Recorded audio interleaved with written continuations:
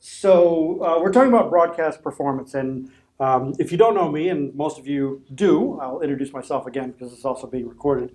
Uh, my name is Andrew Wilson. Uh, my wife and I have had Westview Digital for 20 years now, uh, which is a local production company. Uh, we do a lot of um, uh, TV commercials, corporate videos, training videos, marketing videos, all sorts of stuff. Um, when we're not doing that full time, we also teach at Castleton. Um, I'm teaching an intro to video and film class, um, video magazine workshop, a couple animation classes, um, an intro to graphic design, and you do All the rest of them. Public relations, intro to com, media writing, broadcast performance, media and society, um, special topics in public relations.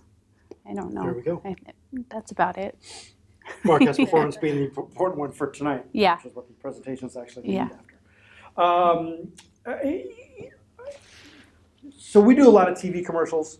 Um, I, I know some of you are kind of come from the narrative background and storytelling and movie making and acting and theater. The bulk of my work, what I do at Westview, is, uh, is, is TV commercials and sort of documentary work. So not a whole lot of narrative. Um, I've got some experience doing that um, uh, over my previous Westview years at Edgewood, working with Dave, um, making movies. Um, but for the most part, um, I'm making a lot of TV commercials, and I'm making TV commercials uh, on your typical Rutland, Vermont budget, which is none. So we- never have a lot of e- opportunity to hire professional talent. So I thought the way that I would approach this tonight is talking about um, working with non-professional talent um, in front of uh, when you've got non-professional camera uh, talent in front of the camera. How can you make them more effective uh, from sitting back behind the camera? Um, I wanted to start this uh, with a commercial that we did several years ago um, with some of the most unprofessional talent I've ever worked with in the past. At the co-op, we believe insurance is too important to leave to companies that treat you like a number.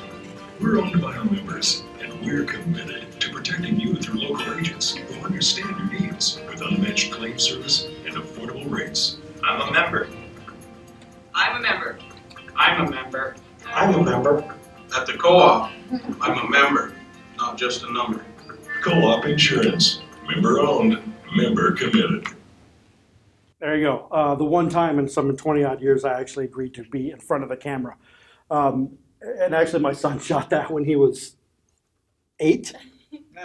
Yeah. Yeah, he think- shot the footage. I think Steven shot that stuff when I when he was eight. Um, the other quick example uh, that I wanted to show you again was a uh, commercial uh, that we did for Autosaver Group um, a couple years ago. Um, the reason I want to show this one is because Autosaver Group sometimes has the budget to hire actors and and and talent and those types of things. Um, so I guess the what I want to challenge you with is can you find the real actors? Can you find the real people? And can you find, um, let's see, the paid actors, the unpaid volunteers, um, and the stock footage? There are more than 25,000 square miles in Vermont, New Hampshire, and upstate New York. But with 11 locations, there's an Autosaver Group dealership near you. We have thousands of new and used vehicles to choose from at the best prices. And if you can't get to us, we'll deliver your vehicle right to you. From Bennington to Derby, Vermont, Littleton to Newport, New Hampshire, Montpelier to Springfield to St. Johnsbury, and everywhere in between. Over 450 employees who strive for 100% customer satisfaction. And when you shop at AutosaverGroup.com, you can do it from anywhere in your world. Our promise is to continue what we do best and get better at it every day.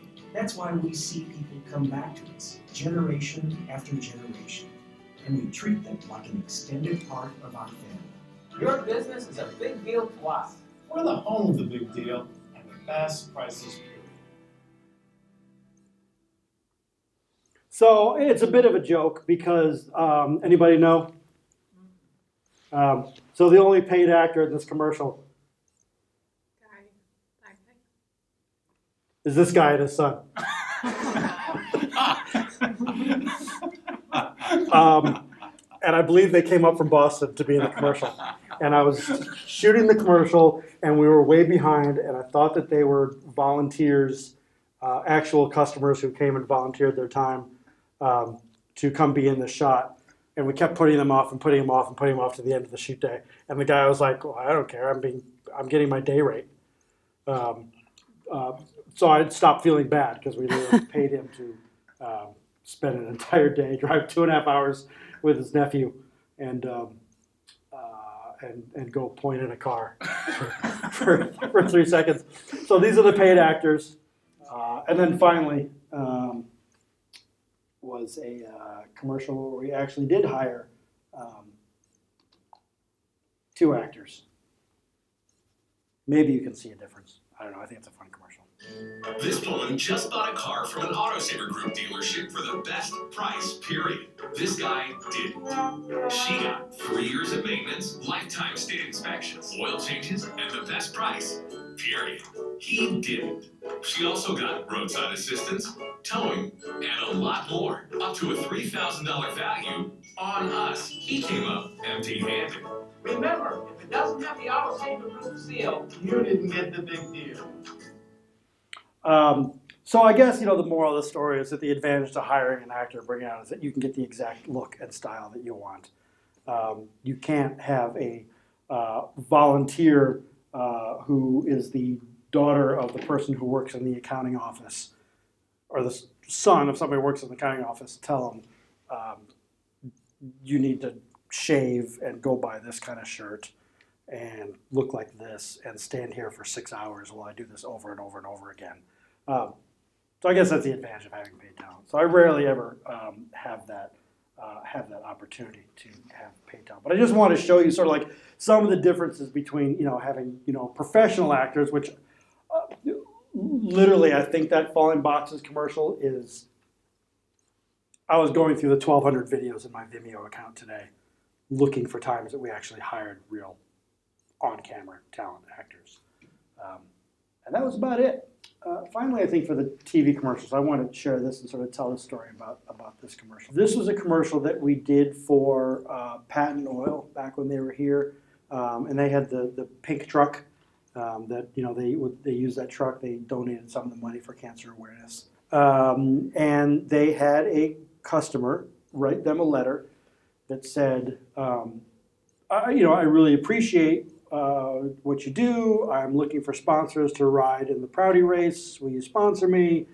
Um, I've been a customer for so long. And then they asked me about making a TV commercial out of it.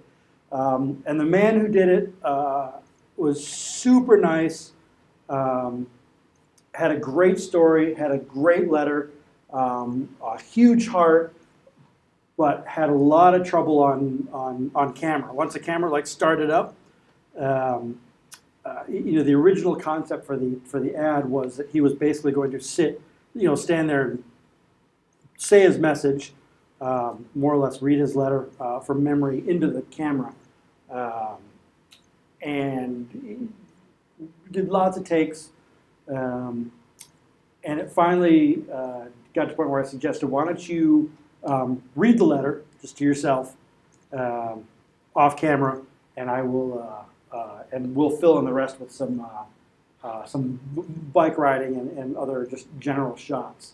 And that's kind of an example of you know you've got somebody who's not a professional on camera. You can't give them the script ahead of time and say you need to memorize this and this is how we expect you to deliver this. Um, uh, so we so this is what ended up coming out of that one. Dear Patton Oil, thank you for supporting my recent cancer ride and for all you do in the fight against cancer. We're so fortunate to have a business like yours in our community. Seeing Patton's pink truck on the road in Rutland County has special meaning for me because of your support. I'm Andy Olenoff, cancer survivor and a proud Patton Oil customer. Patton Oil, fueling a cure with our customers since 2009. Don't forget, ask for the pink truck. and just to sort of uh, emphasize how uncomfortable he was delivering lines into the camera, um, this last part we had to break up into two parts because he had trouble delivering the entire line um, all at once. Shot as a wide shot, which is something I'll get into in a second. Shot as a wide shot, came into the close up, and uh, did the second half of the line. So this, I'm Andy Olenoff, a cancer survivor and a proud Patton Oil customer. so the cut to the close up is because you know he was uncomfortable enough looking into the camera that he couldn't say I'm Andy Olenoff of Patton Oil. I can't even remember what the line is now. But so um, you, know, I guess the moral of some of those stories there is, um, you know, when you've got people who are um, uncomfortable in front of the camera, um, don't have scripts or lines memorized, have trouble memorizing them, or, or just sort of get uh, choked up and nervous in front of a camera, because it, it happens. This is why I chose this career, so that I can always be on this side of the camera, except now. um, because I, I feel the same way. I'm behind the camera and I tell people, come on, this is easy, just do it. Maybe I don't make people as comfortable as I could of the camera, which is why I have her on shoots. He brings me along when he can. I'm sort of the, the softie who gets people comfortable and talks to them and asks them about their kids and their dogs and the whatever it takes until they feel slightly comfortable to talk to somebody. And and often when we're if you if you have more than one person on the shoot, he'll just um, you know put me off to the side of the camera so that you know they have someone to, to look at that they've felt comfortable talking to. Instead of looking at him and looking you know emphasizing the fact that the camera is right there staring back at them. So sometimes we do that too. We just create a person for an eye line and for a comfort line a phone a friend if you will. So most of the time when I'm doing commercial work, um, they're looking right into the lens. Um, and I'll look right into the lens now and say, it's a relatively difficult thing to do, is look right at the lens without glancing away um, and get a good solid message in there. So I guess my advice for that is that if you end up with somebody who uh, you're trying to get some direct address out of, which is somebody speaking directly into a lens, um, is as much coverage as you possibly can get. Um, you know, have them do it once in a super wide shot. Have them do it again in a medium shot. Have them do it again in a tight shot. Um, have them do it several times. Um, uh, record them without them knowing that you're recording them, uh, and pretend like it's a rehearsal. I don't recommend recording people without telling them, but you always have to tell them afterwards. You can't Yeah. ever legally record somebody without telling them. So the key to this is um, multiple coverage. Um, don't be afraid to break lines up uh, in half as long as you've got something to cut and edit to. Um, my background is production and post production um, and editing.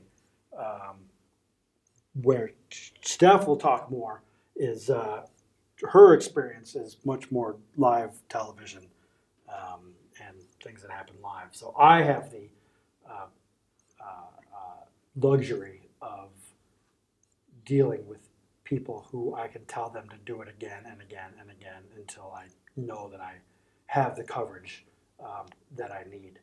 And usually it's just a matter of uh, uh, getting them to relax, trying to have a fun work environment, um, and, uh, and if they really can't do it, then then then break up their uh, um, uh, break up their material as much as you can, getting them to comfortably do it. I guess that's my sort of advice for for doing you know commercial work and specifically again what I call direct address, right into the camera. Um, uh, we have a teleprompter, and I brought my teleprompter with us uh, to use as an example. I rarely use them for for this stuff um, because it comes across as somebody uh, reading it. If somebody is doing information, um, you tend to lose a lot of the emotion for for a uh, for a commercial. That's sort of you know I'm a reading. I'm a cancer survivor. Patton oil customer is not nearly as um, uh, powerful as somebody who can actually uh, say it. It's hard to read a teleprompter without looking like you're uh, looking like you're reading. Um, the other part of uh, a good chunk of my business is what I will call, and I won't play all this. It's an eight-minute short documentary on uh, is is documentary work. But we interviewed a bunch of kids about what it's like to go to this private school um, that may end up closing because of Act 46. So I'll let some of this play and then just kind of talk about um, some of the techniques that I'll use if I'm doing, you know, documentary or, or interview type stuff. Our old town that we lived in, which was Cornish, they didn't support school choice, and I really wanted to go to the school, and so did my little sister, who goes to the same school, and she's in eighth grade herself. And we wanted to, we wanted to go here very, very badly, and we wanted to go here next year and go through all the school, go through all from middle, from middle school to all the way up to, to, to when we graduate. That's what we wanted. So my mom and dad looked for houses that have school choice and is a sending town. If it wasn't for school choice, I wouldn't be here right now. I originally chose to come here because I knew a lot of people who had come here and had very good experiences, and I was uh, able to come here for middle school uh, via school choice. And that really helped me uh, because I'm dyslexic. They were very understanding of how I learned and what I needed as a learner to succeed, and that has helped me succeed a lot in my time here. I've kind of always struggled with school. I've struggled uh, to find a place that could help me learn and use my natural talents to my own advantage. It really depends on the person, and that's why school choice is such a good thing because some people are way more comfortable in a public school where it's a lot of people, it's very safe to them, and then other people like a smaller school where they get like, you know, like more attention on them and more singled out. Like it depend really depends on the person for what school is right for them. And that's the whole thing about school choice. It's whatever is comfortable for the person. My family decided that I needed to come here for 10th grade. And um, I was very reluctant. I didn't want to come here.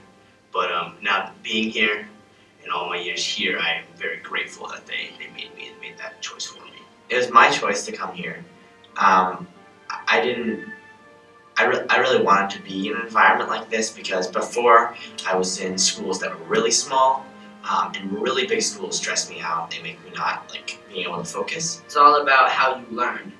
Like here, I'm doing very well. It's really important for people to be able to choose the schools that they want to go to because it's not always going to be the perfect fit. Finding the right option for you is really important for yourself and for your family because if you're going to school and you're not learning, then why are you going to school? And if you're not having fun going to school every day and you're not happy, then I think that you're not going to right school. Each person learns differently and each person wants to learn something different.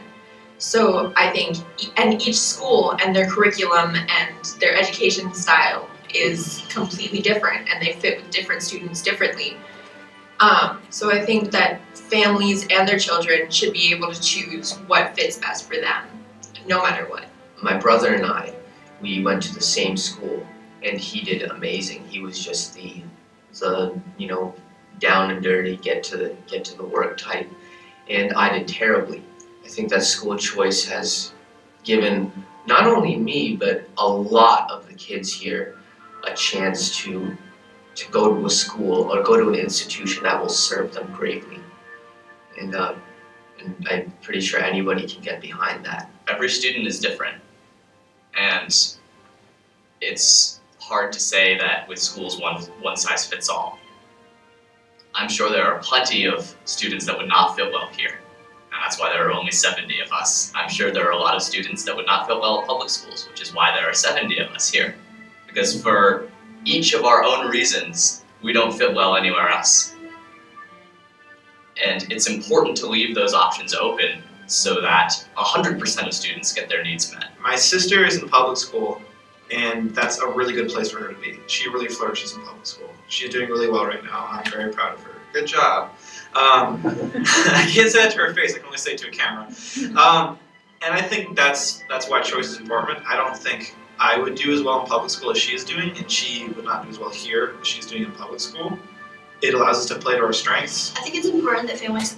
So um, it's funny. I kept wanting to stop it. I'm like, oh, but that kid says something great. Oh, but she says something great. You know, when I when I sit down um, and do these sort of, you know, I'll call them mini documentaries. You know, the number one key is to try to make the person that you're interviewing um, feel comfortable. Uh, that you know what they're going to say and um, what they're doing, the message that they have is it's going to make a difference if people want to hear their story. You know, a lot of these kids, just you know, kind of wanted to be heard.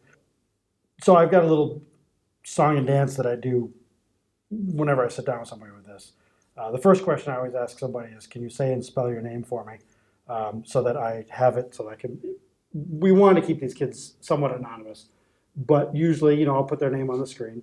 So the first question I always say is, um, you know, say and spell your name for me, and tell me why you're here, what grade are you in, why are you being in this video, are you the president of something or other, are you a volunteer, um, are you a parent, do you have a child in the school, are you a superintendent, um, what's the little title I'm going to put on your screen. And the other thing that I always say over and over and over again is anything that I say or ask you the question is not going to appear in the final video. Um, so you need to rephrase the question in your answer uh, a little bit to put everything in context, um, which really helps tell the story while you're editing. Um, I was an editor before I was a shooter.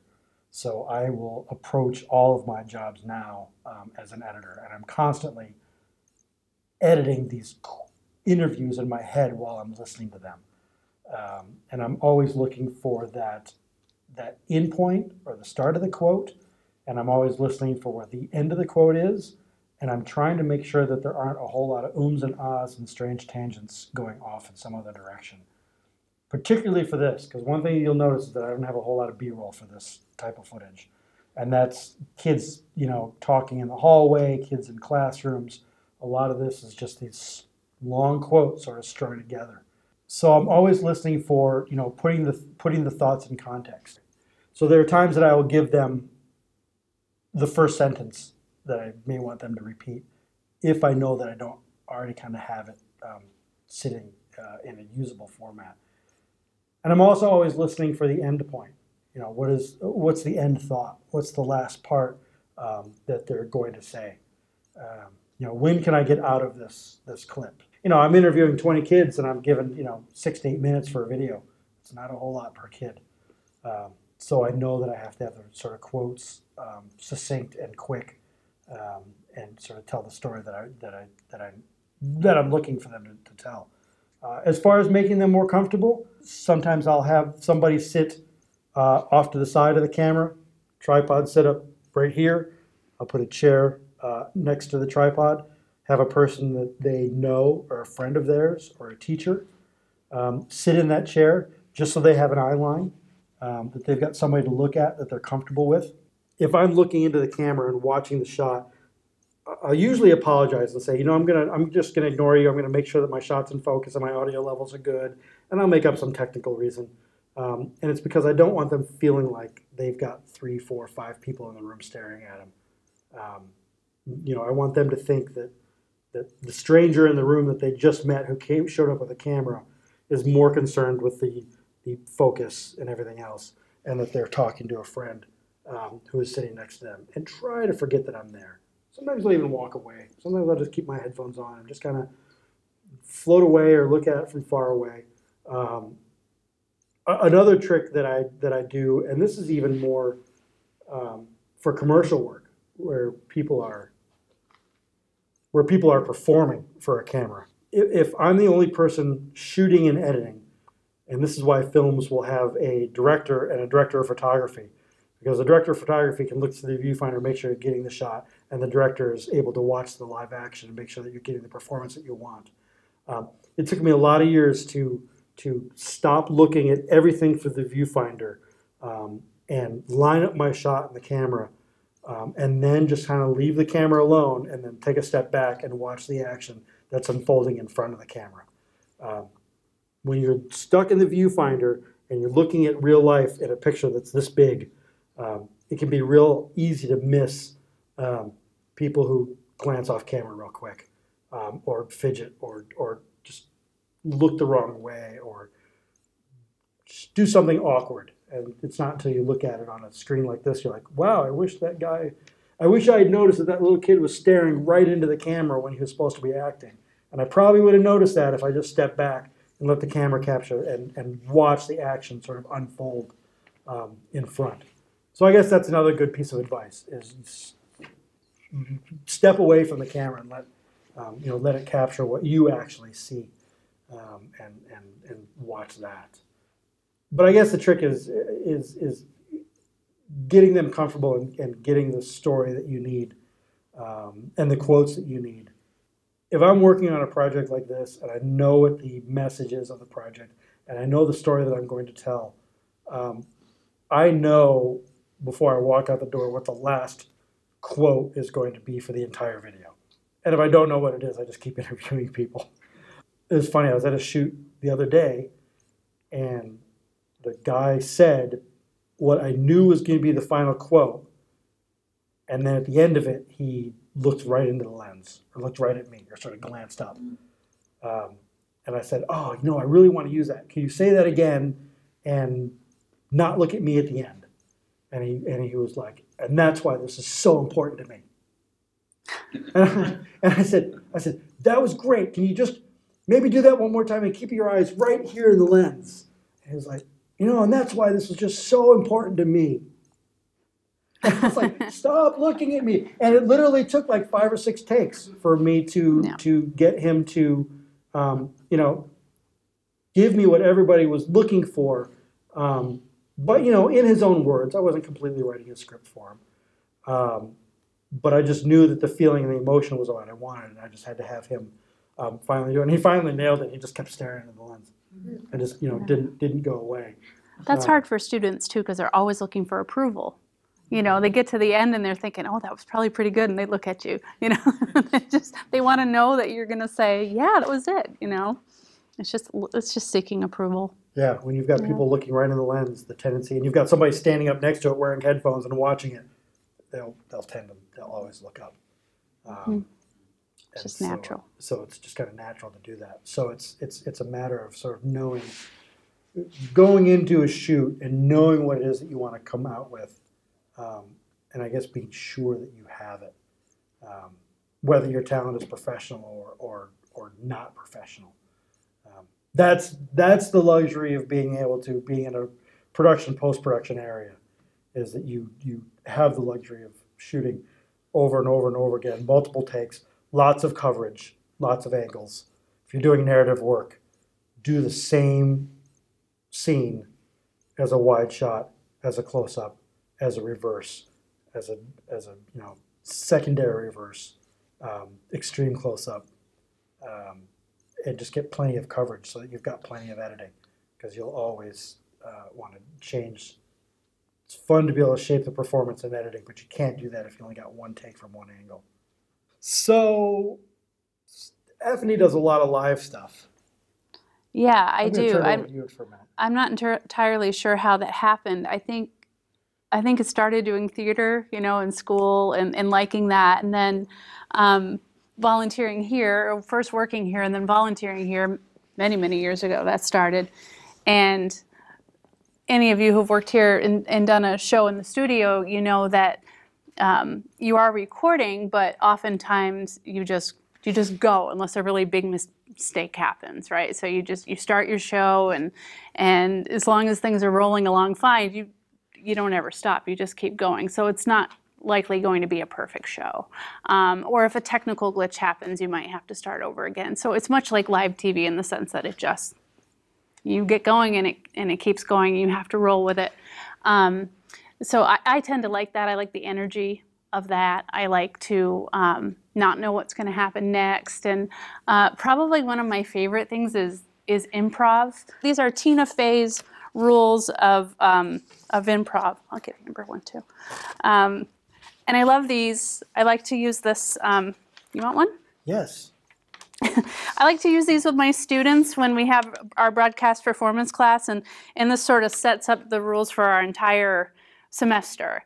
And I always say we're going to use Tina's rules, and it's essentially what you do for improv. So it's that idea that um, that whatever situation you end up in with somebody else. And so if you're um, if you're on live television and you have, uh, for example, a co-host, and you're you're bantering with that co-host, and that and they say something that you just don't know where that's going. You don't really you don't get it, or maybe you don't even agree. But uh, first off, you always kind of have to agree, like, okay, I'm going to go down this road with this person, right? I'm gonna, I'm gonna, I'm gonna agree to go down this path and see where it goes. So uh, Tina says, so if we're improvising and I say, freeze, I have a gun, and you say, that's not a gun, it's your finger. You're pointing your finger at me. our improvised scene has ground to a halt. But if I say, freeze, I have a gun, and you say, the gun I gave you for Christmas, you bastard, then we have started a scene because we have agreed that my finger is in fact a Christmas gun.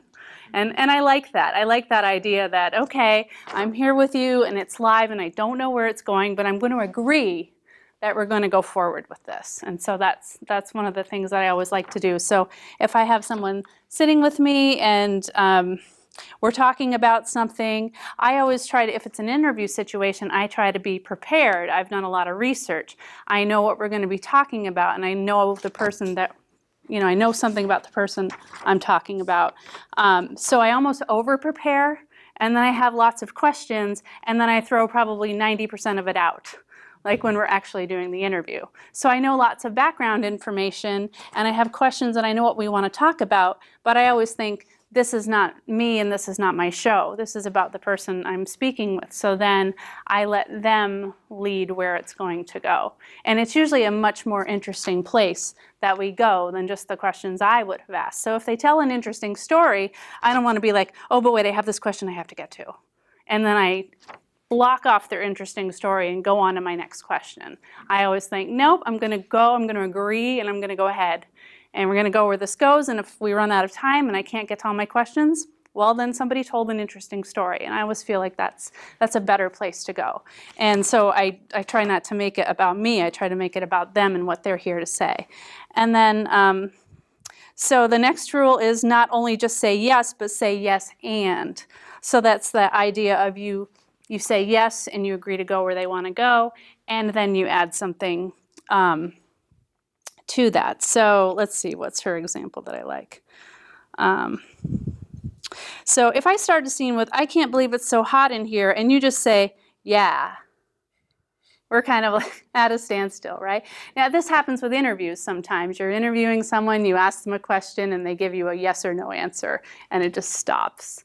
And that's why, if you've done a lot of research, or you know something about the person, or you know the subject you're talking about, you will know where to kind of pick it back up and, and ask a follow up question so that you can hopefully get them off of the yes and the no and the one, one word answer. So you don't want to be that person who puts up that wall. So, um, but if I say, I can't believe it's so hot in here, and you say, what did you expect? We're in hell. So if that were an improv situation, you know, that, that might happen. Like, well, now we're getting somewhere. You know, this is bringing the story along. So you say, yes, this can't be good for the wax figures.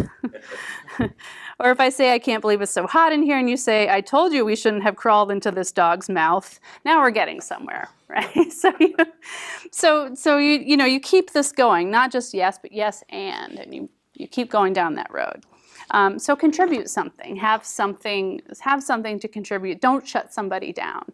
Um, and I think about that in an interview situation. If someone is talking with me, and I do this with students too. Sometimes um, in, in Burnham, I'm sure you can relate to this. Sometimes a student will go somewhere and you're thinking, I do not know where you're going with this. Like, this doesn't seem to apply to what I'm talking about. But you don't shut them down you know, you try to find a little thread. You try to find something where you get what they're trying to say. And, or you'll say, oh, well, that's interesting. Tell me more. Um, and I'll do that whether it's in the classroom or in the studio or in a live interview situation out in the field somewhere. I just try to always um, go where they're going, um, trust them, and try to contribute something to it and, and never just throw up that roadblock. I like rule number three, which is to sometimes make statements and don't just ask questions all the time. And, and that may sound counterintuitive if you're in an interview situation and you stop asking questions, you actually make statements once in a while. But it's not all about, I'm going to ask you a question, give me an answer. I'm going to ask you a question, now give me an answer. Once in a while, you have to contribute a little something too. And I'll, I'll tend to do that in the form of a story a short story, hopefully, that's relatable or, you know, just a little um, commentary. We, Tom and I do this in the parade a lot. You know, we'll just, um, we'll ask each other questions, we'll answer each other's questions, we'll talk about what we see, tell a little story, just, you know, contribute something. Don't always act, expect the other person to hold up hold up the whole show. You know, like I, am you know, I'm just going to ask you a bunch of questions, and you can fill in all of the material, and that's and that's you know it's your job. I always think it's it's my job to um, to contribute something too. And then uh, the last one, and, and this is particularly great for live television, is that there are no, um, there aren't any mistakes, they're just opportunities, right?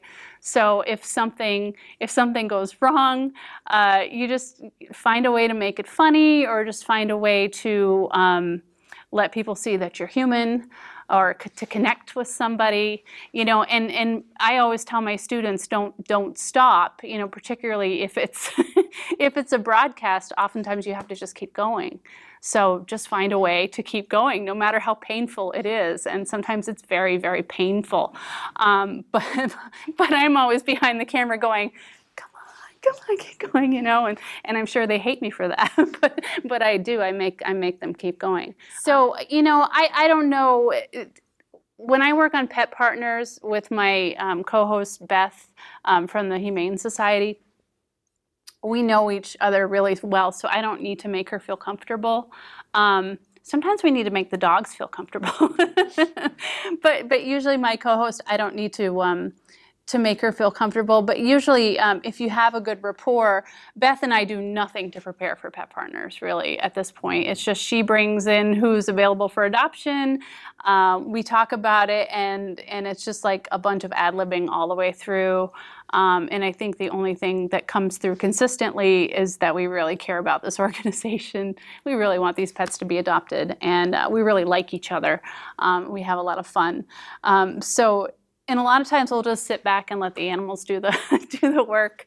Um, but yeah, I don't know. I don't know that you want to show much of it. Do we have Pumpkin Princess? I'll have to- take you all the way into the new year, 2019. So it's hard There's a to recent believe one, that she is very gentle. She's so gentle for being so big. She's a gentle giant.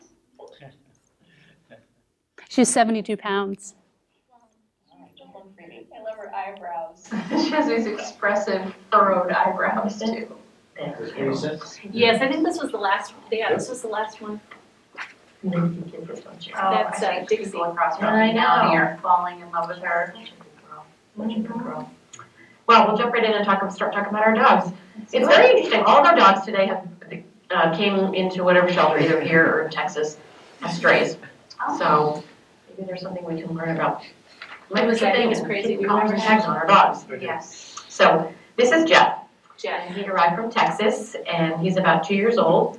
He's a lab mix. Uh, he weighs 54 pounds. He's a neutered male, and he is just kind of a goofy fella. he's just kind of, he's almost kind of like a big puppy. He's got like these big feet, like he's still kind of growing into himself, so to speak, and um, just very social. Did you want to parade? Is it your pumpkin princess?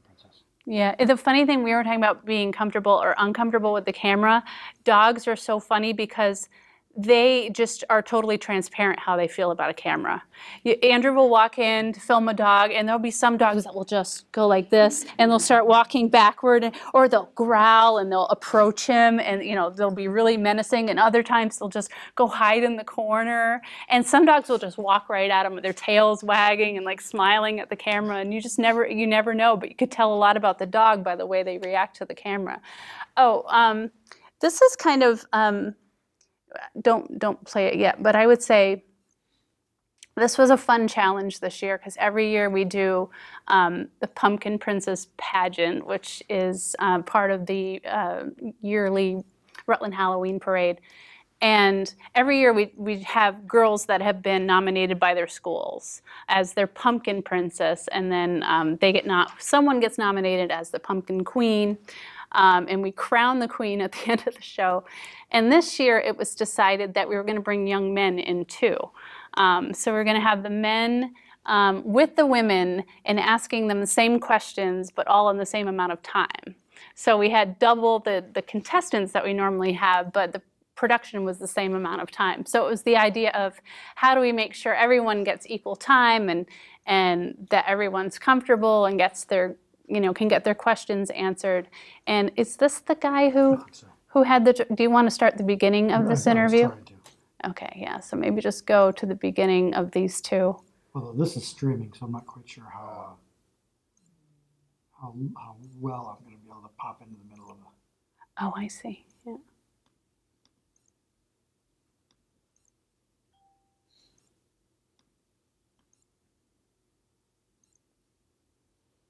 So essentially, I just get profiles for every single person, and I have those in front of me, and I have to ask them questions. But um, I don't know how many kids there were this year. Maybe six, si- 15 or 16, maybe. I'm trying to remember how many kids there were overall, and and you can't memorize every little thing about them, but you try to to learn as much as you can about them before they they just keep coming. It's like one comes and then they go off the set, and the other one comes and sits down in front of you, and you're trying to look at your papers and remember who everybody is. But um, yeah, so if you saw if you saw that young couple that was there. Um, the young man was kind of nervous and i was you know trying to make them both feel comfortable and and one of the questions i'm supposed to ask is you know what do they do for community service because that's part of the reason that they're part of this event and and the young man said um, i can't think of anything and then and then he just looked so panicked and so i just said i said i said something along the lines of But that hasn't Oh. stopped me from getting involved. That would be part of an inaugural program like this. This is the first time we've had the, the men representing. Yeah, it's, it's, it's nice to have you. It's nice to have both of you here. So um, you just went through your interview with the judges. How did that go? Uh, it was kind of nerve wracking. No, nerve wracking. well, you got through some of those questions, and I won't throw any curveballs or surprises at you. So we'll, we'll talk about the same kinds of things if, that, if that's good. Um, so I was wondering what you're both thinking about doing when you when you leave high school. Here you are in your senior year. Yeah. Um, I'm thinking about serving in the military, maybe doing Air Force or Army. Wow. So you want to serve our country, and we thank you for that. That's a, it's a big commitment. Um, and what about you, Kira? What are you thinking about? Um, I want to go to college. I both my cousin and my sister-in-law are lawyers, so I kind of really like that. I mean, I've always been interested in it, and I just really think that it'd be really cool. Fantastic. And um, you're both involved in community service, one of the reasons that you're representing your school. So you can tell us a little bit about what you like to do to, to uh, serve your community. We'll start with uh, Caleb. Um, I don't really remember what I. Well, you know, let me, well, let me ask you about this. I was touched when I read that you raised money for cancer research for your best friend. Yeah, my friend had a brain tumor, and uh, I thought I'd like help him out, raise money, and then shave my head and stuff, and then yeah, I ra- so I this is- I that is my probably I yes I forgot that I had done that. it's it's funny when you when you can throw a line to some you know when you can throw a line to someone who's in it with you. And that's what I think about is the, the kind of the yes and you know that was my contribution was to to um, if you could see his face too because they kind of went back to me but if you could see his face he was sort of like I can't remember. Oh no. And then and he was like oh yeah. You know so that always feels good to be able to um, to make people feel comfortable in front of the camera. And, and usually that if you learn enough ahead of time um, so that you could pull up a little fact quickly or something to just throw, throw them a line once in a while, I sure know I appreciate it when people do it for me because we all get tongue-tied or just lose our train of thought sometimes. I have students who do it for me a lot. You know, all of a sudden I'll be like, uh, and they'll remind me where I left off. Um, so it's good when someone can can throw you a line, and I think this is probably one of my favorite things to do because I like working with the younger kids, and because because sometimes they're just naturals, and other times they're just deer in headlights. You know, you just never know what they're going to be when they get up there, and but they're all great by the end. You know, they just all do a fantastic job, and um, but I, li- I like the live stuff. I like um, just talking with people and and making whoever I'm with, uh, trying to make them comfortable and trying to make sure that they talk more than I do at the end of the by the end of the broadcast. One of the biggest mistakes you can make as an on-camera talent person is to uh, um, not be familiar with your script. You know, if you have a script and it's loaded in your teleprompter and you're just counting on that, Um, that can sometimes be a disaster because if something goes wrong and you don't know your script, um, or even if you have a copy in front of you but you haven't gone through it first, uh, that can that can uh, backfire on you. So I always tell my uh, students, and only Ken with you, I'm I'm going to sh- we're going to show people what happens when you don't review your script first. yes. Um, so so we're going to have Ken uh, show us like not reviewing the script, but since he's so familiar with scripts in general, he's probably going to be a pro, and you know my little experiment will fail, but that's okay. Um, so Ken, I, I you stand just up here for a second. So it's uh-huh. always important to review your script first, to go through it, to look for any words that are unfamiliar, to circle them. If there's a word you're not sure how to pronounce, you'd want to look that uh-huh. up. You'd make a phonetic spelling guide next to that word. And just make sure that nothing's going to trip you up when you get in front of that camera and, and go to deliver the script. So um, this is a little thing I like to do with my students just to illustrate that point, and it also goes back to these um, sheets that I gave you gave you prior. So so Ken will give us a little demonstration of that. Um, Sorry. yes, sorry. So, so again, you know what I and I and I was mostly trying to figure out a technical problem, but you know what we tell people is that when you're dealing with a teleprompter, um, know your script well enough. You should read your script over and over and over and over again, and know how you're going to say things, know how you're going to emphasize, know how you're going to pronounce people's names, and and really only rely on this. You know, this is similar to you standing on stage and the difference between memorizing your lines and reading them off of a script. And the trick to make a teleprompter work is to not seem like you're reading it and to know it so well that you're having a conversation with the camera. Um, and to know the script so well that you're having a conversation with the camera and doesn't seem like you're reading it. Take a breath, look at the camera, smile, and action. Good evening. I'm Ken Holmes, reporting for the Channel 6 at 6 News. Albany residents were shocked and terrified today when thousands of rubber baby buggy bumpers rose up from under the city streets, tearing up major roadways and sidewalks in mass panic. The rubber baby bugger, buggy bumpers careened down downtown Albany for a total of 20 minutes before returning to the, into the earth and disappearing as abruptly as they arrived. Fortunately, no one was injured. The city buildings and streets appear to be structurally sound, and oddly enough, the only casualties were six, six slim, slim, slim sycamore saplings.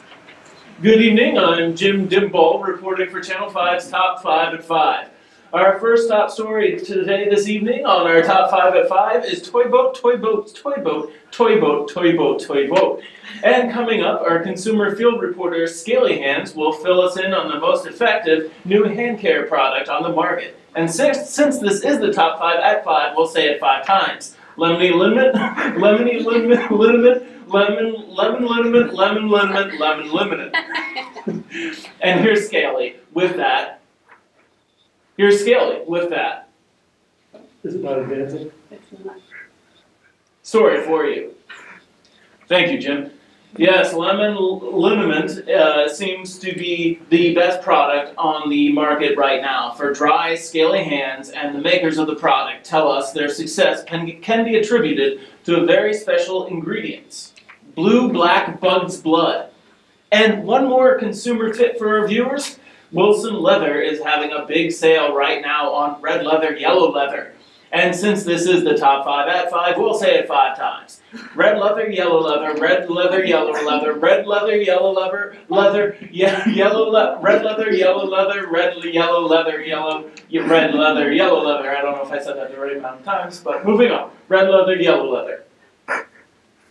When you come into Wilson's Leather, make sure to enter their current promotion and take three free throws in their parking lots basketball hoop. That's right. If you make all three free throws, you will win a free red leather, yellow leather jacket. Back to you, Jim. Thanks, Kelly. We were going to wrap up our newscast with the story on Peter Piper picking a peck of pickled peppers, but unfortunately the reporter missed a flight and she failed to get a ride. Apparently, she shells seashells by the seashore, and the seashells she shells are seashells, and she sold too many, so many shells, she was unable to get a ride to the airport to report on Peter Piper's progress. To wrap up our top five at five newscasts this evening, I'd like to leave you with five things to think about.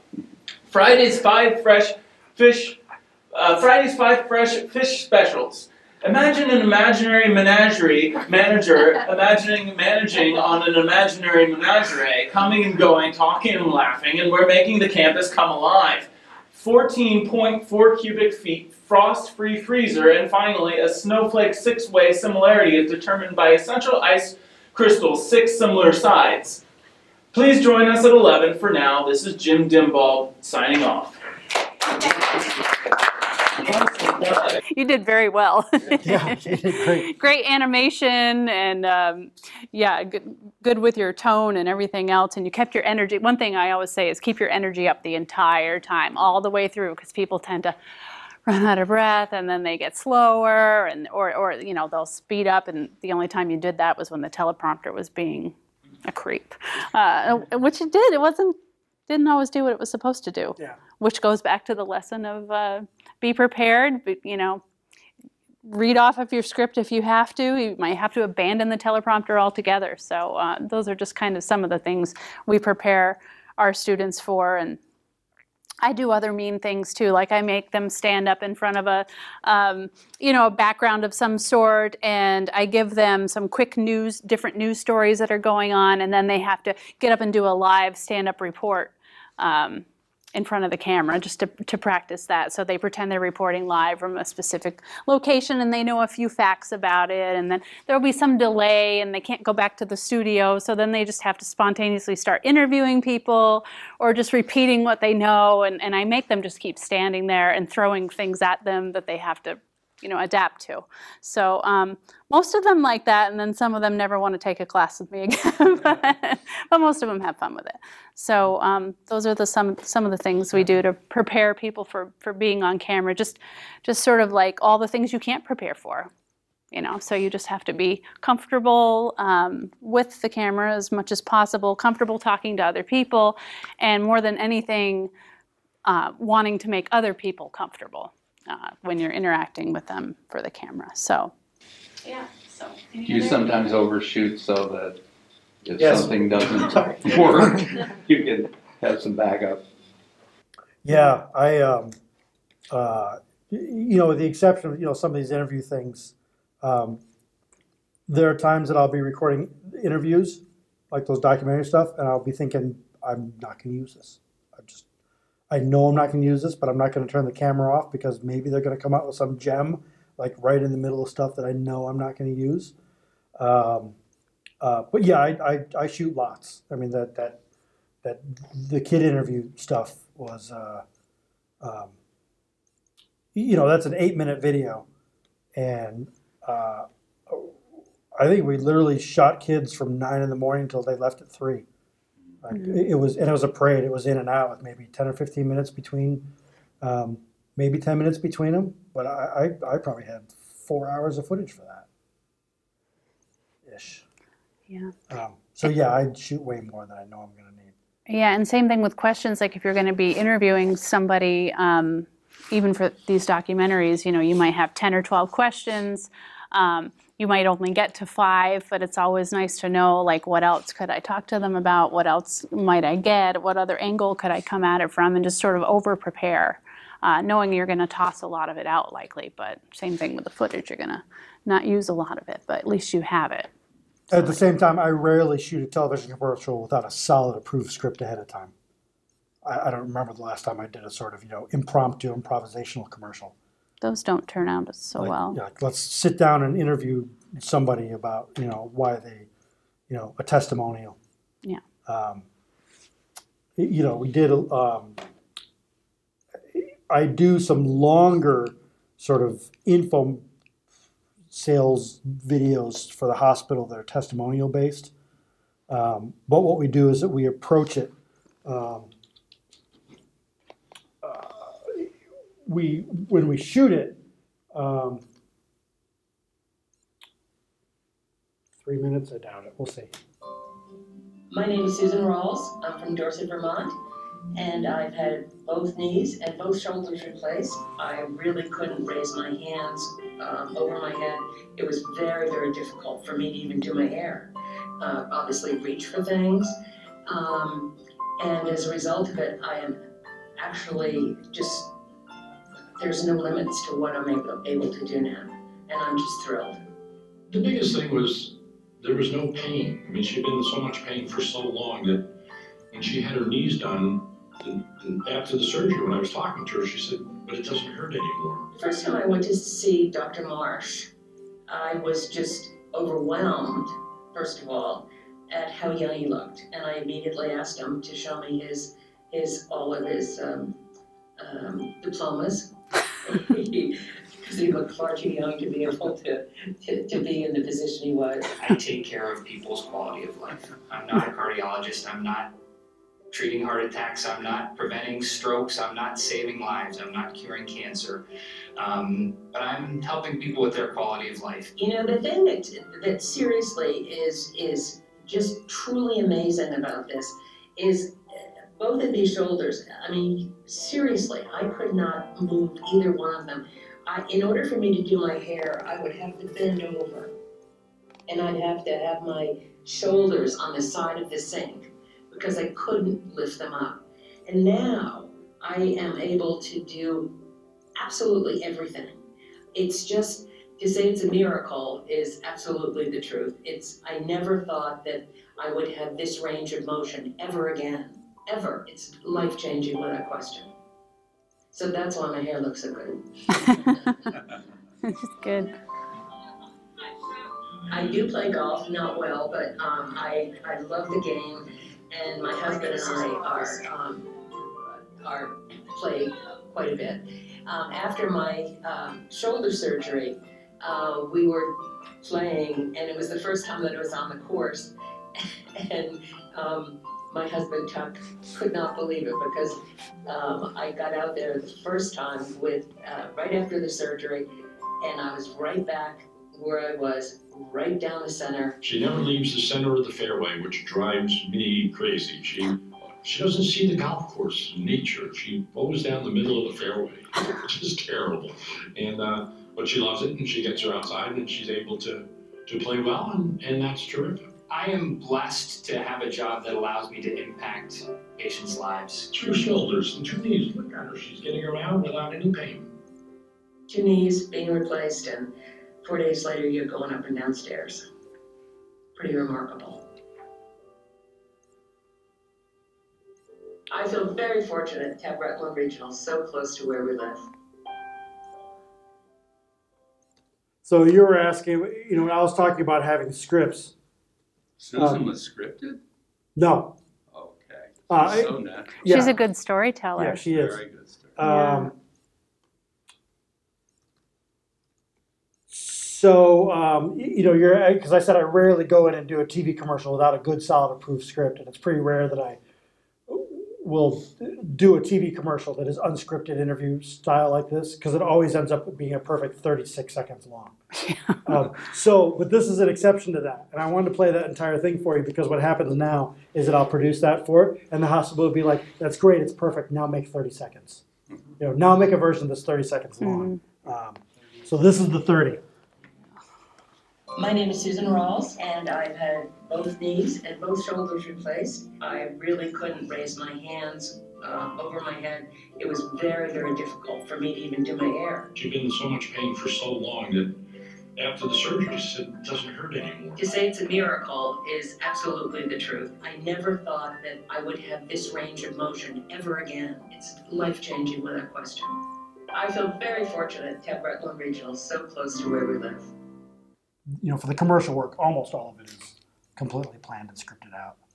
Yeah. In my media writing classes, my students will say during the television commercial unit, they'll be like, "Oh, it's at 33 seconds. It's fine." And I'm like, "No, it's not." And they're like, "Oh, we'll, we'll just technology edit it." I'm like, "No, you can you can't fix it with that. Like, it, the script has to be right to start with, and has to be the right length, and you know, you have to start from that spot." And then work with your challenges. But they always think technology is going to fix everything. I'll just edit it. And like, no, it doesn't. No, you can't edit it after it's. And I know why I went off that tangent because you're talking about overshooting. Yeah. Um, and if I have a script, I don't overshoot. I know exactly what I need. Yeah. I know exactly what, where it's going to be. I know exactly. and you know when you gonna- get the shot. I know exactly where it's going to appear. I know how long it needs to be. Yeah. Um, so no, for commercials, I don't overshoot. But there's meeting documentary things. So- I Shoot, and shoot, and shoot, and shoot. Yeah. Anything else? Thank you so Dynamite. Thank you for your attention. Appreciate it. Go back to you. Thanks.